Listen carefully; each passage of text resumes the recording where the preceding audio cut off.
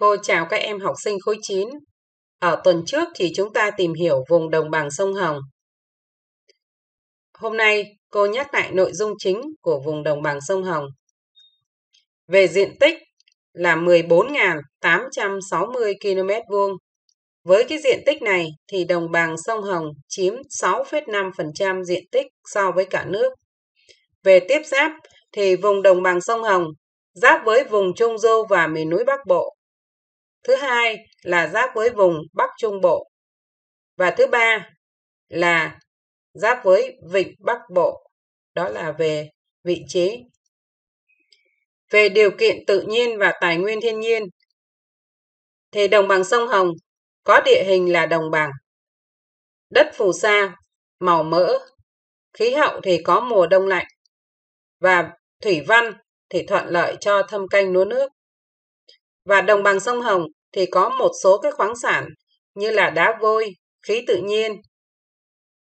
Ở đồng bằng sông Hồng thì có một cái vùng biển khá thuận lợi cho nuôi trồng, cho đánh bắt thủy hải sản và giao thông đường biển và phát triển du lịch, vân vân. Đồng bằng sông Hồng thì có một số thiên tai như là bão, lũ lụt và thời tiết thất thường. Ví dụ như là rét đậm, rét hại, vân vân. Về tình hình phát triển kinh tế thì công nghiệp ở đồng bằng sông Hồng được hình thành sớm và phát triển mạnh. Về giá trị sản xuất công nghiệp thì tăng mạnh. Phần lớn giá trị sản xuất công nghiệp tập trung ở Hà Nội và Hải Phòng.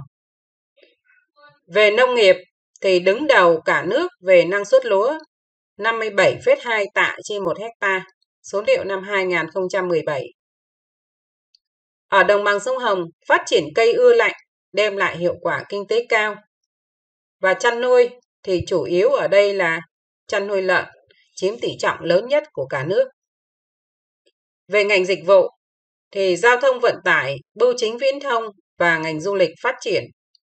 Ở đây có rất nhiều địa danh du lịch nổi tiếng như Chùa Hương, Tam Cốc Bích Động, Cúc Phương, Đồ Sơn, Cát Bà, vân vân. Ở đồng bằng sông Hồng thì Hà Nội, Hải Phòng là hai đầu mối giao thông du lịch lớn nhất ở phía Bắc. Đó là nội dung chính của vùng đồng bằng sông Hồng. Tuần này cô sẽ hướng dẫn các em vẽ biểu đồ.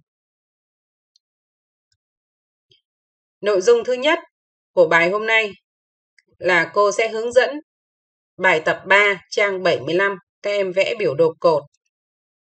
Thứ hai là bài tập 1, trang 80. Chúng ta vẽ biểu đồ đường. Đây là yêu cầu của bài tập 3, trang 75. Vẽ biểu đồ cột thể hiện bình quân đất nông nghiệp theo đồng người ở đồng bằng sông Hồng và cả nước. Số liệu năm 2017. Các em chú ý số liệu này là số liệu mới cho nên các em kẻ cái bảng này vào trong tập. Khi vẽ biểu đồ xong, chúng ta nhận xét. Để vẽ được biểu đồ này thì chúng ta phải tính bình quân đất nông nghiệp. Bình quân đất nông nghiệp, đơn vị là hecta trên người. Muốn tính bình quân đất nông nghiệp thì chúng ta lấy đất nông nghiệp chúng ta đổi từ nghìn hecta ra hecta. Từ nghìn hecta ra hecta. Và chúng ta chia cho số dân. Số dân của Việt Nam năm 2017 là 93,7 triệu người. Chúng ta đổi ra người. Và chúng ta chia ra được 0,12 hecta trên một người đó là bình quân đất nông nghiệp của cả nước. Tương tự như vậy, chúng ta sẽ tính bình quân đất nông nghiệp của đồng bằng sông Hồng. Chúng ta cũng lấy đất nông nghiệp, chúng ta đổi ra là hecta. Chúng ta chia cho dân số, đơn vị là người. Chúng ta được 0,04 hecta trên người. Như vậy, công việc đầu tiên chúng ta đã tính được bình quân đất nông nghiệp của cả nước và đồng bằng sông Hồng. Đây là một biểu đồ mà cô đã vẽ. Cô vẽ xong, ghi chú thích. Đầu tiên, cô hướng dẫn. Chúng ta kẻ một trục đứng, một trục ngang. Trục đứng này cao bao nhiêu? Trục đứng này đơn vị là hecta trên người. Trục ngang là vùng. Đầu tiên, các em đánh số 0. Sau đó, các em ghi 0,02, 0,04, 0,06, 0,08, 0,10, 0,12 là mức cao nhất. Là mức cao nhất. Chúng ta bắt đầu vẽ biểu đồ cột. Cột nào cho trước thì chúng ta vẽ trước. Cả nước có bình quân đất nông nghiệp là 1,12 hecta trên người. Chúng ta vẽ cái cột xong rồi chúng ta tô màu. Còn đồng bằng sông Hồng, chúng ta vẽ cái cột cao 0,04 hecta trên người. Tiếp theo, chúng ta ghi tên biểu đồ. Yêu cầu của bài là vẽ biểu đồ cột. Nhưng khi chúng ta ghi cái tên của biểu đồ, chúng ta không cần ghi chữ cột. Như vậy tên của biểu đồ này là biểu đồ thể hiện bình quân đất nông nghiệp theo đầu người ở đồng bằng sông Hồng và cả nước năm 2017. Như vậy chúng ta đã hoàn thành cái biểu đồ. Và người ta yêu cầu nhận xét dựa vào cái biểu đồ mà chúng ta đã vẽ thì chúng ta nhận xét. Như vậy ở đây có hai cột thể hiện cái bình quân đất nông nghiệp theo đồng người. Chúng ta nhìn cái cột bình quân của cả nước và cột bình quân của đồng bằng sông Hồng, chúng ta phát hiện ra một điều là bình quân đất nông nghiệp theo đầu người của đồng bằng sông Hồng nó thấp hơn nhiều lần so với cả nước. Thấp hơn nhiều lần. Vậy người ta hỏi, tại sao bình quân đất nông nghiệp theo đầu người ở đồng bằng sông Hồng lại thấp hơn nhiều lần so với cả nước? Tại sao? Như vậy các em sẽ phải dựa vào những cái kiến thức mà đã học ở bài ngày hôm trước. Câu hỏi này cô dành lại để cho chúng ta làm bài tập củng cố. Đó là cái biểu đồ. Bài tập 3, trang 75. Tiếp theo, cô hướng dẫn bài tập 1, trang 80.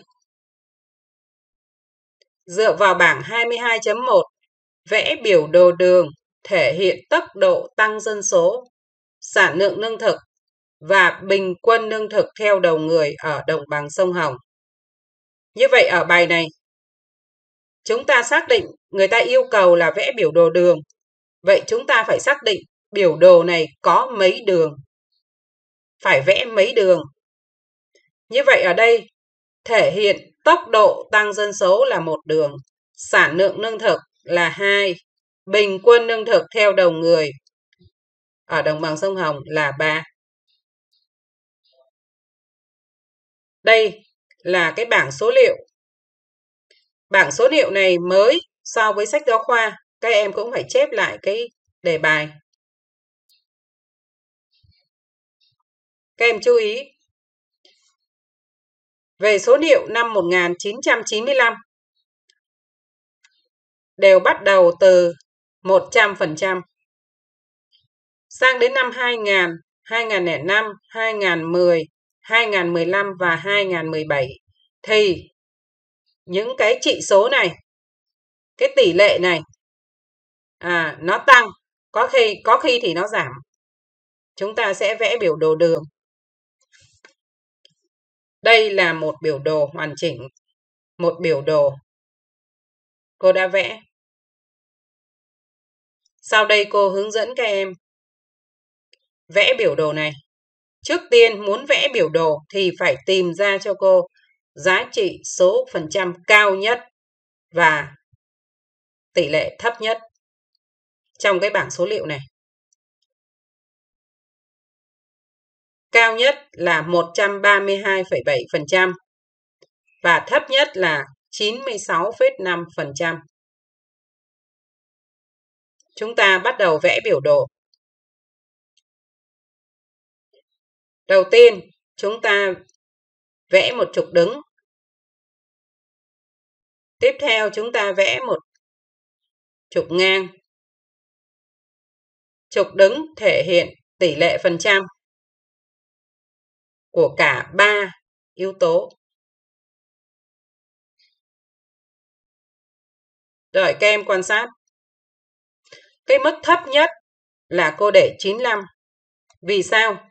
Vì ở đây số thấp nhất là 96,5.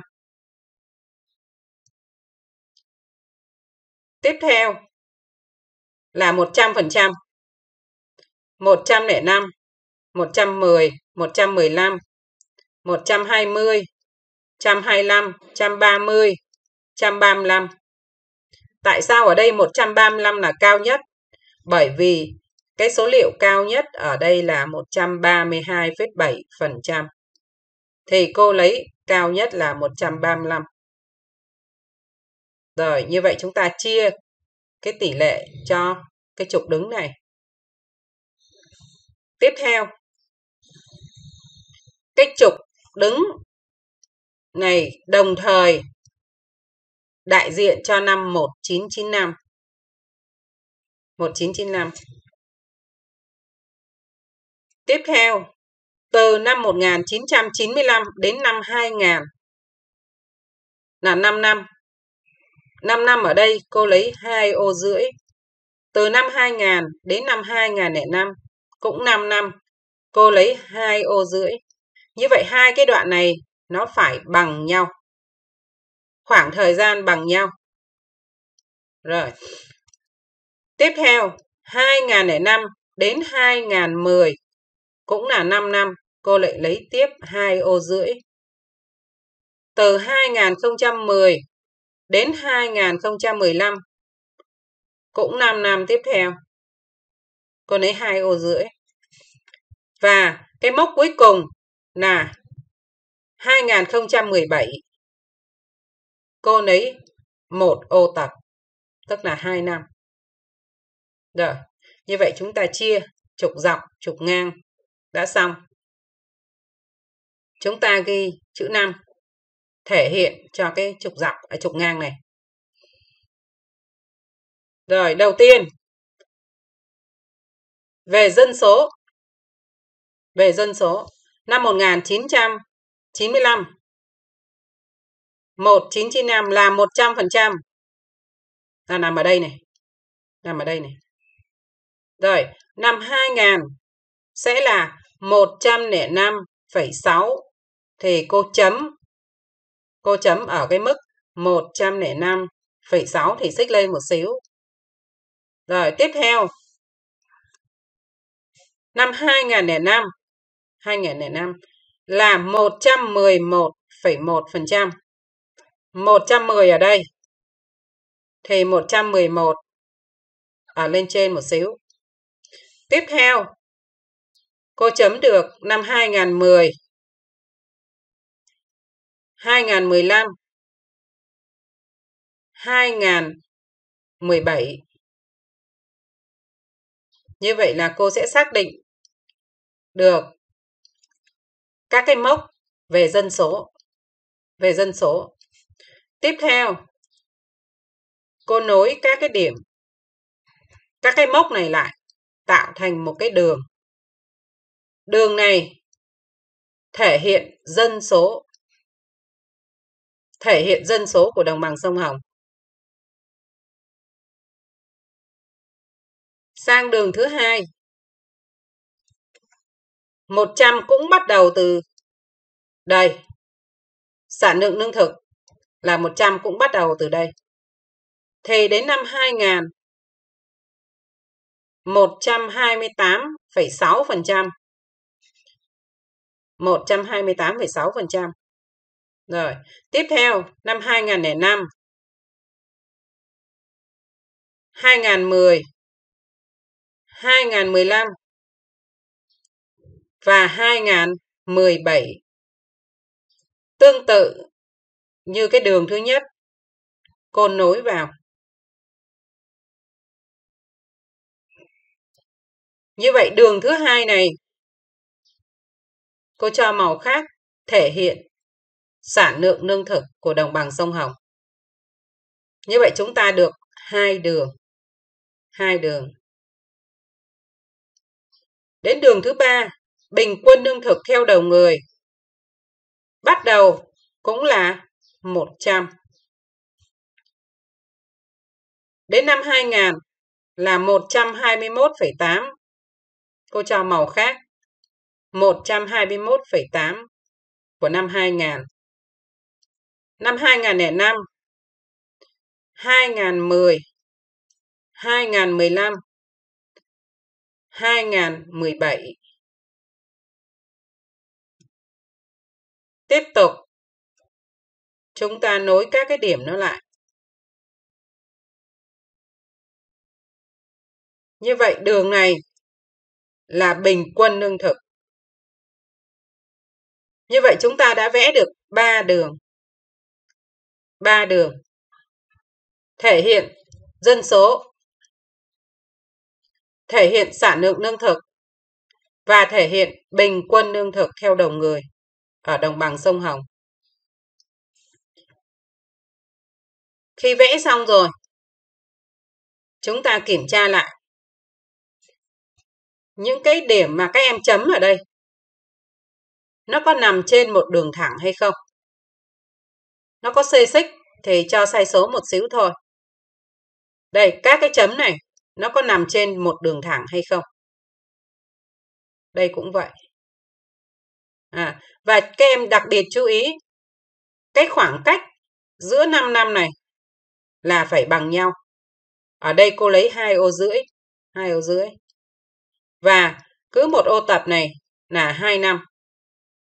Đó chúng ta chú ý cái khoảng cách này cho nó đúng. Khi vẽ xong rồi, chúng ta ghi tên biểu đồ.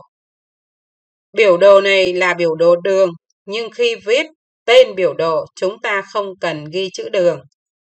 Chúng ta ghi Biểu đồ thể hiện tốc độ tăng dân số, sản lượng lương thực và bình quân lương thực theo đầu người ở đồng bằng sông Hồng từ năm 1995 đến năm 2017. Đó là một biểu đồ hoàn chỉnh.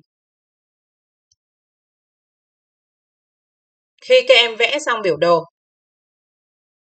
các em chụp hình, các em nộp lên trên đường link vào trước lúc 18 giờ ngày hôm nay.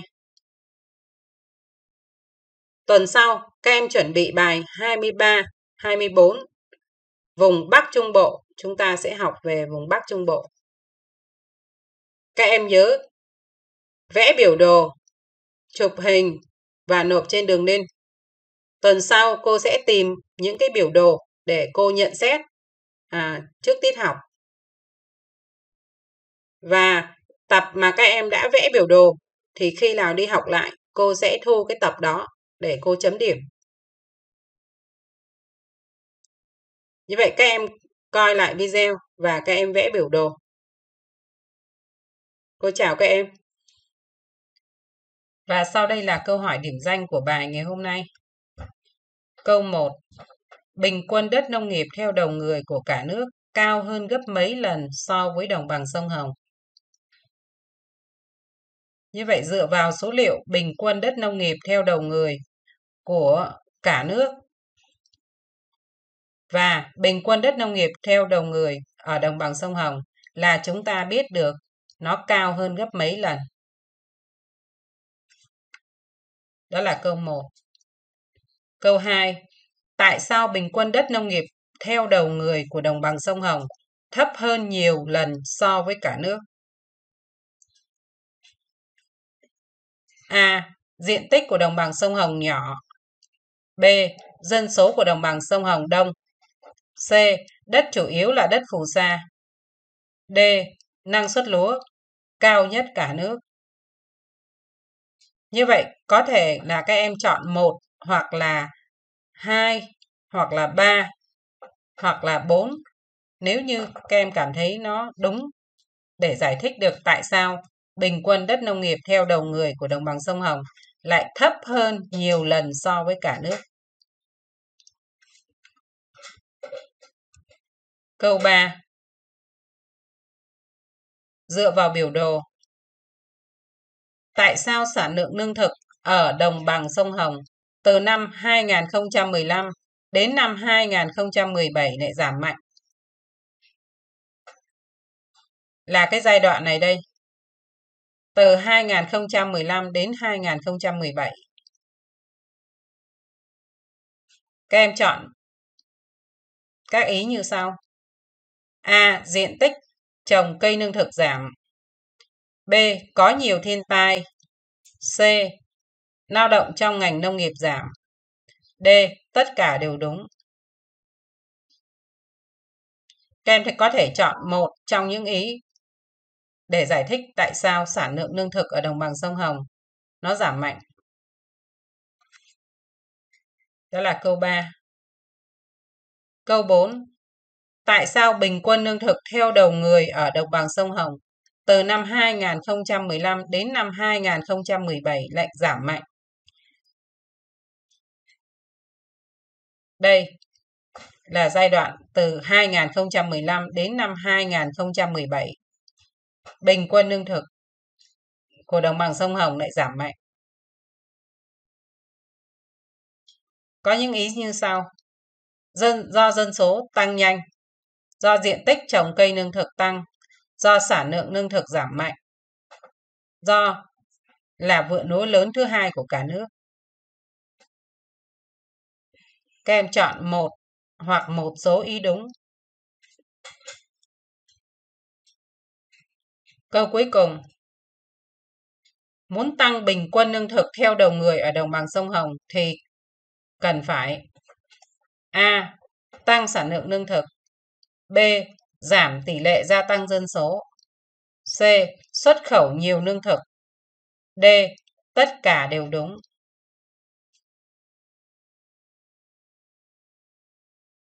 Đó là 5 câu hỏi củng cố cũng như là 5 câu hỏi điểm danh cho bài ngày hôm nay. Cô chúc các em làm bài tốt. Cô chào các em.